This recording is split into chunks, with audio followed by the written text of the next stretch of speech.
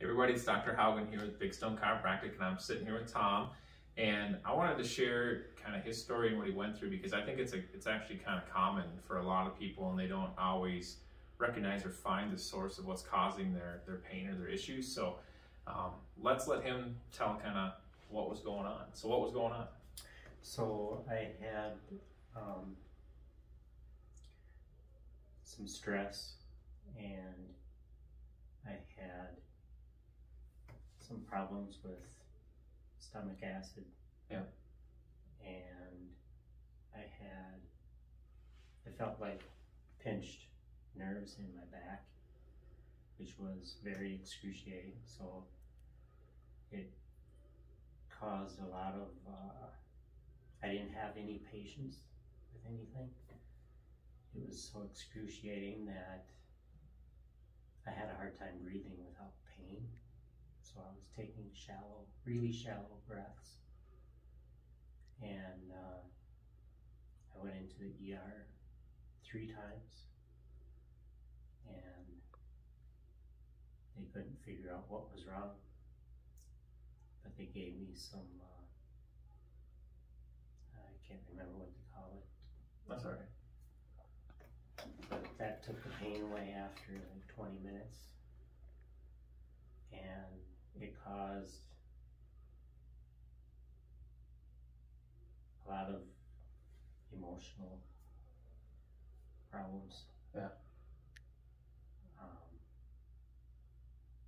I would, I couldn't hardly do anything because I was in so much pain all the time. It was excruciating to sneeze.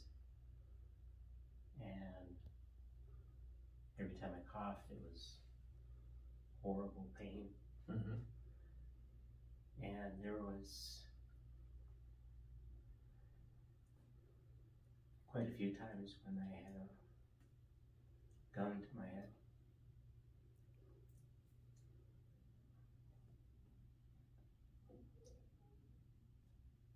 Uh, It was hard on relationships. Yeah. So when pain gets that bad, I mean, life just is not fun to try to to live anymore. It wasn't worth living. Yeah. And so we we we saw you probably in like October maybe for the first time, you think?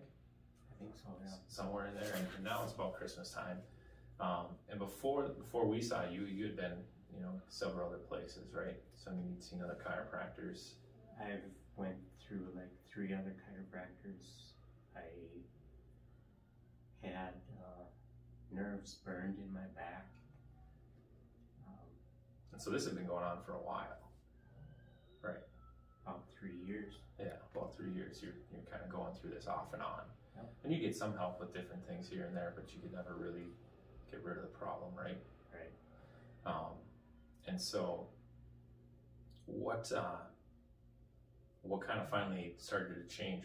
What what we kind of connected some different dots, right? So, you know, if, if something's not working, like you go to the chiropractor and you're not starting to feel better, or maybe you feel a little bit better, but you never completely get over it. It's time to start looking at maybe something else is causing the issue, right? So that's that's kind of the approach we took, and a lot of times. Um, what can do this is if you have an inflammatory response coming somewhere else in the body. So for him, we really looked at he was having some some stomach issues too, and so um, you were on antacids or not? I was taking ranitidine two or three other prescription strength pills to reduce the acid in my stomach. Yep. Um, and because I had a lot of reflux also. Yeah. And so he was he was dealing with stomach issues, reflux, taking antacids, and that was helping kind of with the stomach acid a little bit. Yeah. Yeah. Um, but a lot of times what that'll do is it still allows the inflammatory response to go on because you actually need stomach acid to digest that food. Um, and so what we started to do is we, we changed that up a little bit.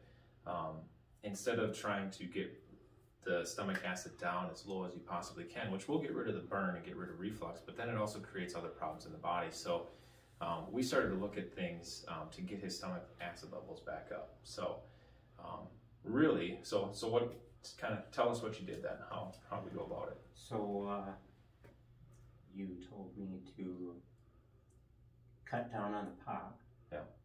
Which I eliminated that altogether. Mhm. And I quit drinking coffee. Yeah. because coffee can really leach minerals, so like your sodium, potassium, magnesium. And so we wanted to get rid of these things that could be making this problem worse. So that's why he did that. And he did a great job.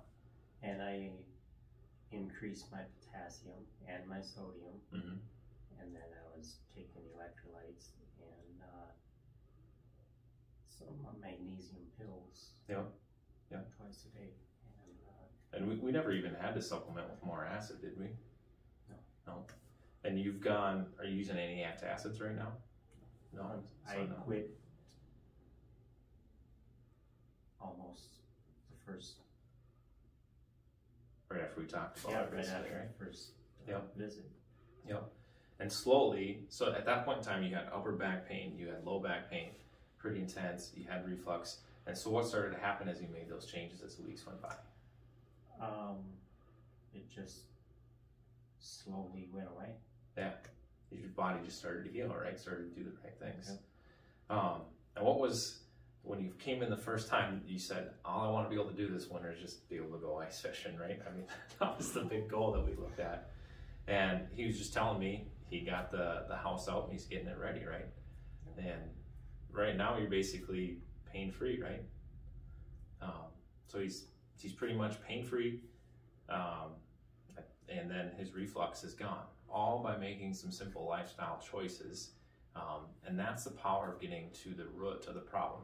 If you're doing something and it's sort of working, maybe not working, you got, might have to look a little bit further. So it's not that we blame the, the chiropractic or something that didn't work before, because it, it did help a little bit and um, it helped him to reduce that pain level, but there was more than that going on. So um, I want to thank him for being, you know, brave enough to share his story because there's a lot of people who I believe that the stomach acid issue, the antacids, are causing inflammation, are causing a lot of these joint pain issues.